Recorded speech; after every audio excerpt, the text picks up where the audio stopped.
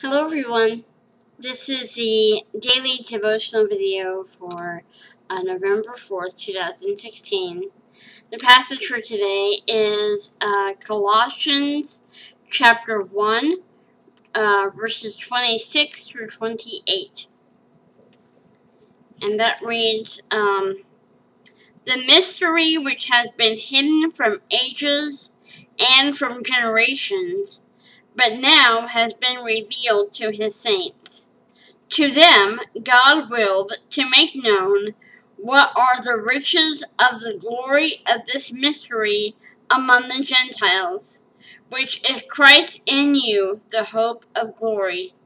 Him we preach, warning every man and teaching every man in all wisdom, that we may present every man perfect in Christ Jesus.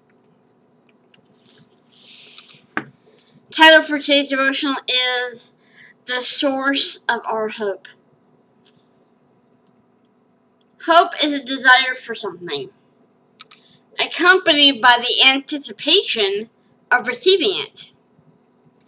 If our expectation of fulfillment diminishes, discouragement can set in, and prolonged disappointment can lead to despair Perhaps that's what led to the betrayal of Christ.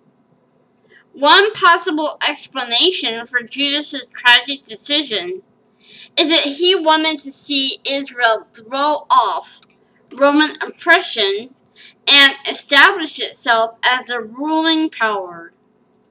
Maybe he thought that having Jesus arrested would push God to force the hand of Israel's religious and political rulers.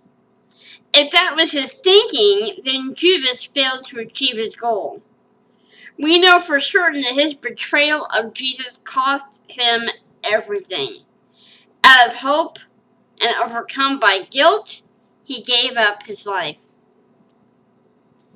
We have an enemy who watches for our moments of weakness when he tries to influence us away from the Lord. He wants to keep us focused on our circumstances and doubting God, so we'll complain, this isn't fair. If the Lord loves me, why would he allow such a thing to happen to me?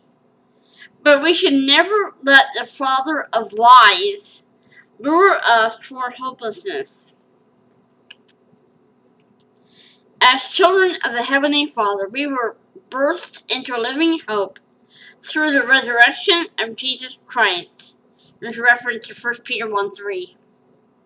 Because of our Savior, we have been taken from condemnation to full acceptance, from spiritual death to eternal life in heaven with the Lord. We have His indwelling Spirit to provide comfort in tough times and to guide us through them. Because we are eternally secure in the Lord, we are never in a hopeless circumstance. We may feel desperate, but emotions are not reliable. Our Savior and friend, Jesus Christ, is our constant source of hope. I love that. You always have to have hope, always. I hope you guys like these devotional videos. I really hope that you watch them and they encourage you in your daily Bible studies and your walk with God and your Christian journey. I pray that they will encourage you and inspire you. Um, I'm going to go ahead and put all the information where you should do. And I love you all very much. Have a blessed day and I'll see you tomorrow.